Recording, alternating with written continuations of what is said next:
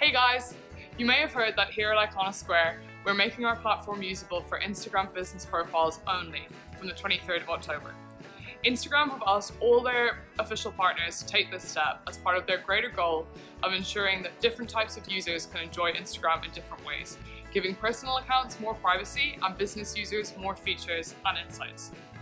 As this process is going to be complete by October 23rd, we wanted to give you the heads up on what you can do to make sure that your account won't be affected. So what do you need to do? Well, if all your accounts are business profiles, absolutely nothing. But if you have some accounts that are still listed as personal, even though they might represent a brand, influencer, or celebrity, then you'll need to convert those to business profiles to keep using Iconosquare. Luckily, that process is really simple and I'm going to teach you how to do it in three easy steps.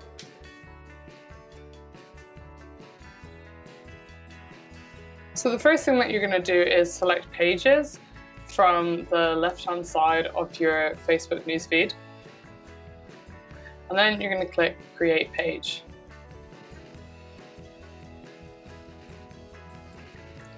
So you can select whether you're a business or a brand or a community or public figure. Um, I'm going to select this one for now.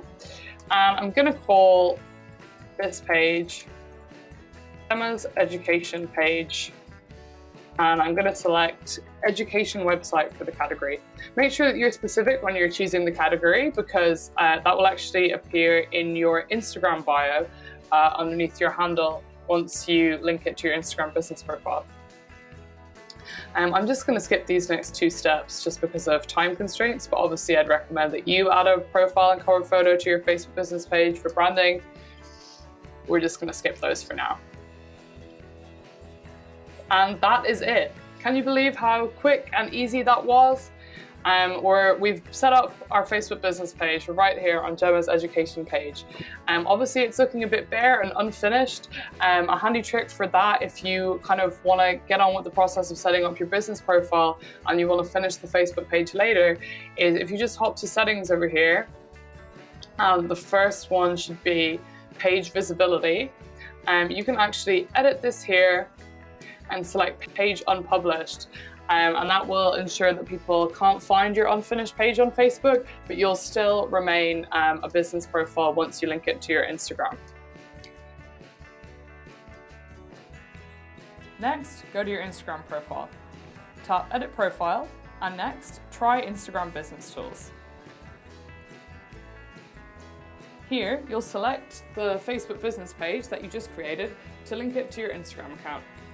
Tap next and you can review your contact information. That's it, you're done.